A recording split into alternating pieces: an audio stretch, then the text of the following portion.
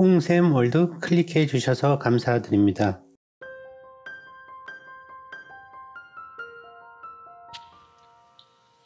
님의 침묵 한용운 님은 같습니다. 아 사랑하는 나의 님은 같습니다. 푸른 산빛을 깨치고 단풍나무 숲을 향하여 난 작은 길을 걸어서 차마 떨치고 갔습니다. 황금의 꽃같이 곱고 빛나던 옛 맹세는 차디탄 티끌이 되어서 한숨의 미풍에 날아갔습니다.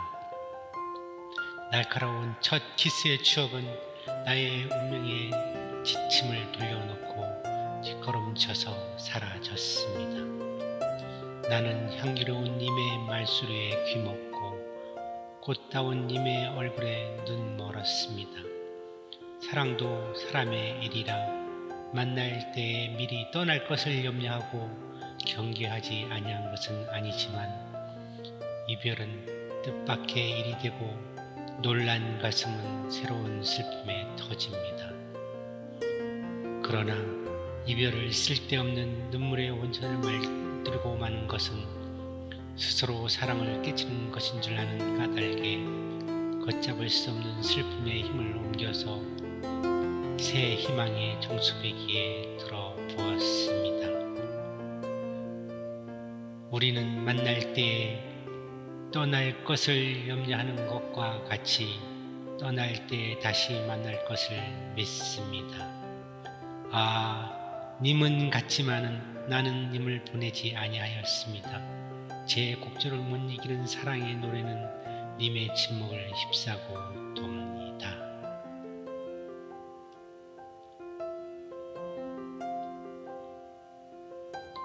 목계장터 신경님 하늘은 날더러 구름이 되라 하고 땅은 날더러 바람이 되라 하네.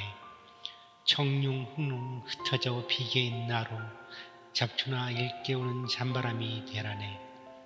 백길이라 서울 사흘 목계 나루에 아흘의 나을 찾아 바꿔본 파는 가을 볕도 서러운 박물장수 되라네 산은 날더러 풀꽃이 되라 하고 강은 날더러 잔돌이 되라 하네.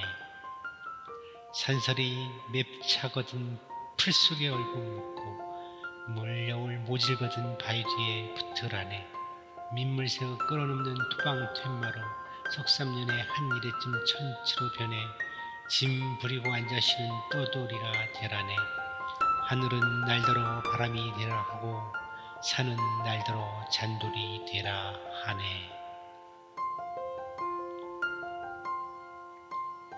향 수 정 지 용 넓은 벌 동쪽 끝으로 옛 이야기 지질대는 실개천이 휘두르어 나가고 얼룩배기 황소가 해설빛 금빛 게으른 울음을 우는 곳 그곳이 차마 꿈엔들 이칠리야.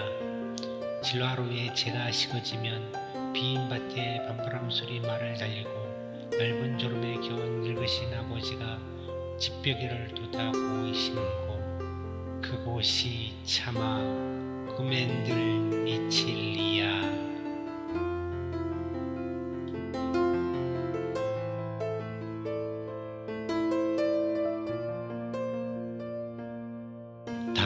다음 부분은 여러분이 직접 마음으로 읽어보는 시간입니다.